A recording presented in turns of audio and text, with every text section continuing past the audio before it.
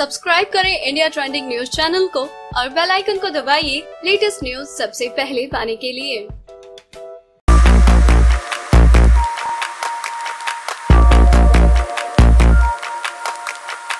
Big boss ने captaincy task के दौरान कुछ ऐसा सनसनीखेज खुलासा कर दिया है कि जिसके बाद घर के सभी सदस्यों को एक दूसरे पर शक होने लगा है कि कहीं वो गे तो नहीं।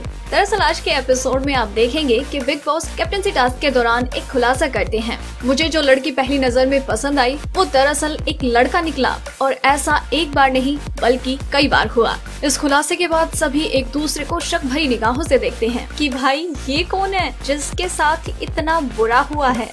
दीपक तो यहाँ तक कह देते हैं, मुझे तो इस सौरभ का ही लगता है, क्योंकि ये जैसे बेड पे मेरे साथ गंदी गंदी हरकतें करता है। लेकिन इस पर केवी उन्हें कहते हैं, यार, ये रोमिल भी ऐसा ही हो सकता है, क्योंकि ये भी सौरभ के साथ मिलकर तेरे साथ बेड पर ऐसी वैसी हरकतें करता है। इसके बाद दीपक, बिग बॉस को शुक्रिया अदा करते हैं की थैंक यू बिग बॉस की आपने वक्त पर मेरी आँखें खोल दी। मुझे अब सिंगल बेड चाहिए। मैं किसी के साथ भी बेड शेयर नहीं करूँगा। और इतना कुछ होने के बाद घर का माहौल बिल्कुल खुशनुमा हो जाता है। हर कोई एक दूसरे की टांग खींचता हुआ नज़र आता है। बिग बॉस बारह ऐसी जुड़ी ऐसी ही कॉन्ट्रोवर्सीज लड़ाई झगड़े, हँसी मज़ाक, मौज मस्ती और बिग बॉस हाउस से जुड़ी और भी कई खबरों के लिए बने रहे हमारे साथ, क्योंकि आपको बिग बॉस बारह से जुड़ी हर लेटेस्ट अपडेट सबसे पहले यही मिलेगी अगर आपको हमारी ये स्टोरी पसंद आई तो इसे लाइक करें और अपने व्यूज़ हमें कमेंट करके ज़रूर बताएँ। इंडिया ट्रेंडिंग न्यूज़ की रिपोर्ट सब्सक्राइब करें हमारा चैनल ऐसे ही लेटेस्ट और इंटरेस्टिंग न्यूज़ के लिए